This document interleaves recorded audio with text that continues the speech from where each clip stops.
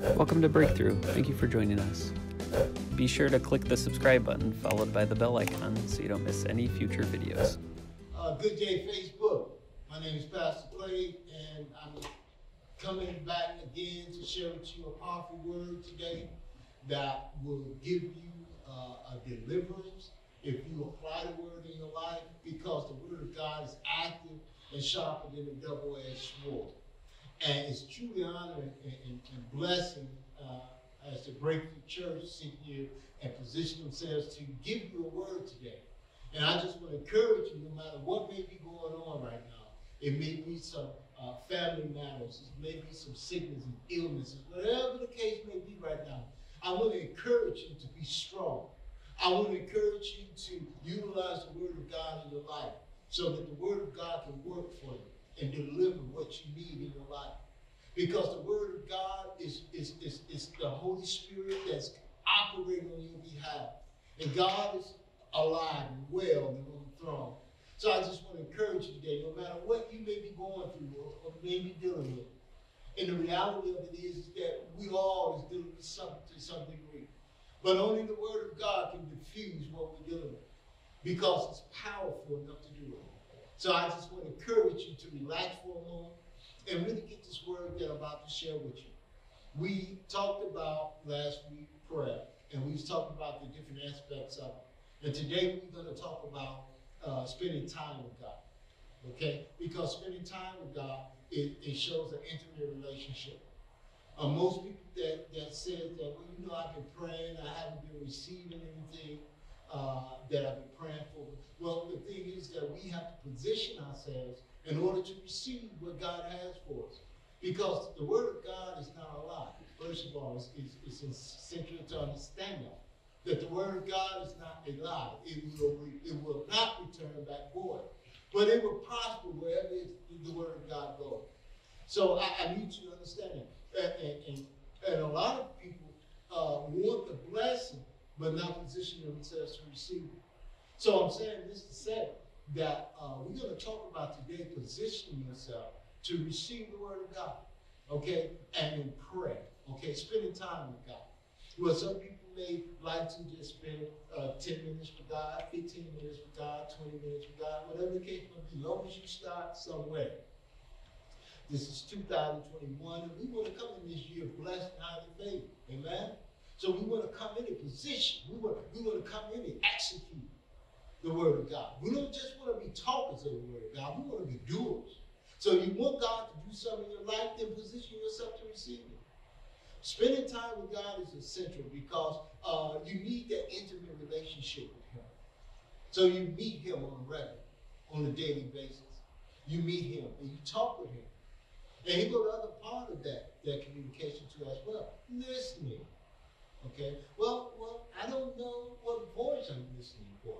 Well, you have a negative voice that tells you always, always, always tells you negative things. Okay?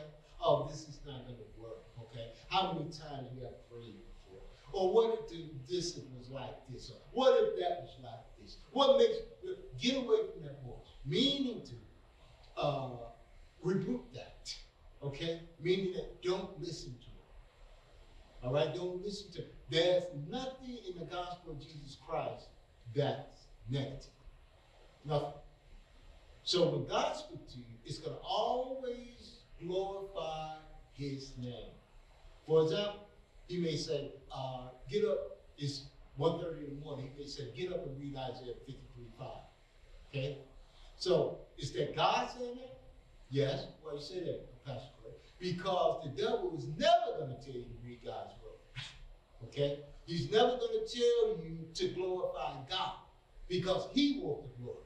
So he's going to tell you the opposite from that. He's going to say, ah, I'm sleepy right now.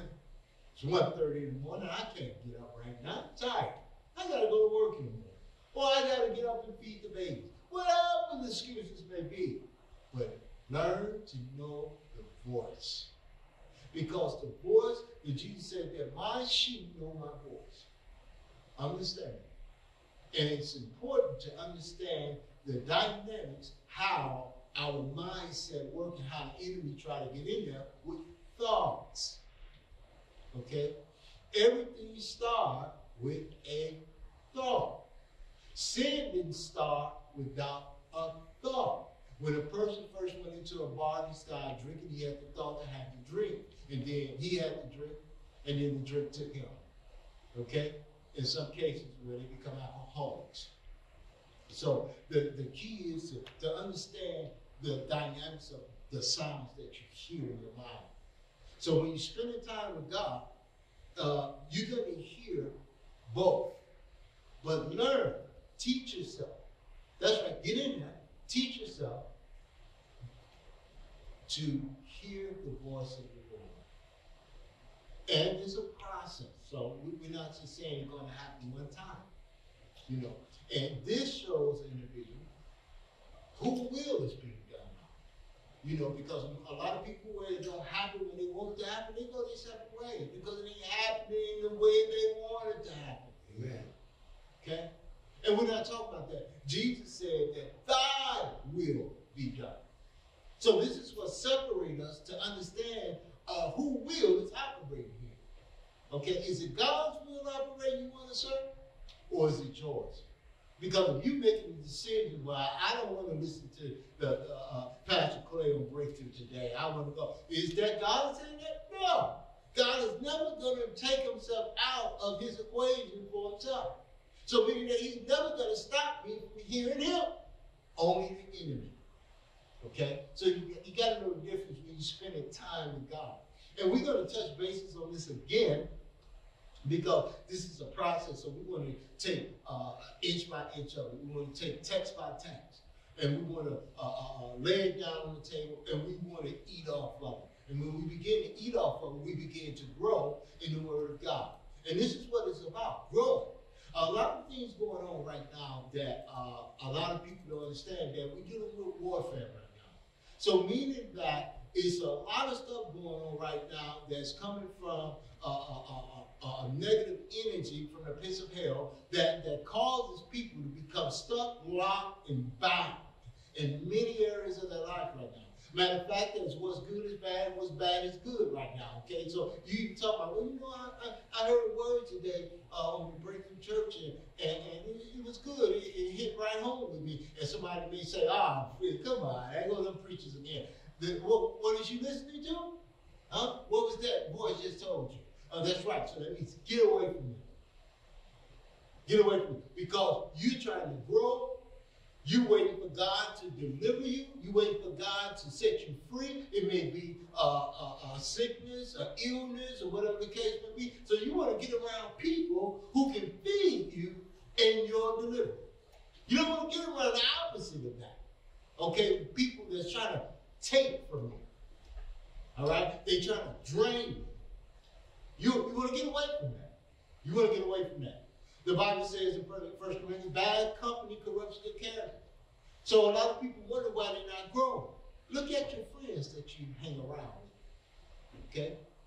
Look at your friends. Study feeding with negativity. All right? So spending time with God is essential. And as you begin to do that and position yourself, you will find yourself growing with God. So his voice become normal to you. You begin to get into a place in your life where, where you understand the word of God more.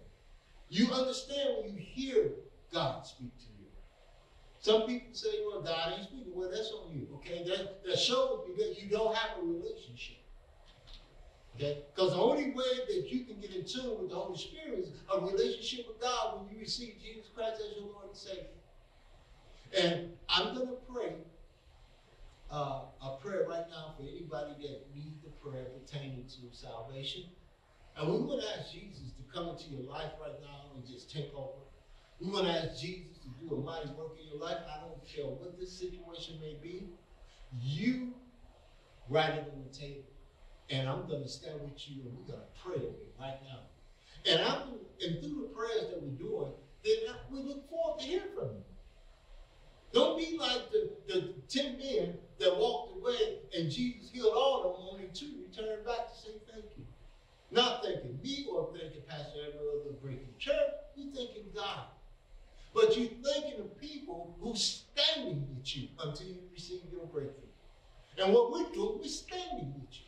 We want to hear from you. We want you to share these messages. We want you to partner with us. We want you to, to log on, send your comments. We, we want to hear from you. We want to hear from you. So I'm going to pray. Father, in the name of Jesus, I need you to say this prayer with me. And we ask that Jesus take over for this new year in your life. And this date is the 8th, I believe. 1 8 2021. And this is the day that you receive Jesus Christ as your Lord and Savior. Remember that day. Okay? Pray with me. Father, in the name of Jesus, I come to you today. I ask you to come into my life. I believe that you raised Jesus from the dead. I believe that you're God. You're sitting on the throne. You're able to handle any situation that I'm dealing with. And you resurrected him and seated him at your right hand. Then, Father God, I confess him as my Lord and Savior right now. And Father, I give you all these troubles that's coming up against me because I can't handle them. Father, I'm seeking him and I need you. Show me who you are. Jesus today as my Lord and Savior on 1 8 2021. In Jesus' name, amen. If you prayed that prayer with me, we'd like to hear from you because we need to keep watering. It's a seed. Don't allow the enemy to take it away from you. So, I just want to bless you and may you have a beautiful week coming up. And I speak a blessing that you will walk into a blessed week and that you will walk into favor and that you will walk into a mighty move of God because that's who you serve. So loosen up, let go, and let God. I want to thank you for joining us today. My name is Pastor Clay.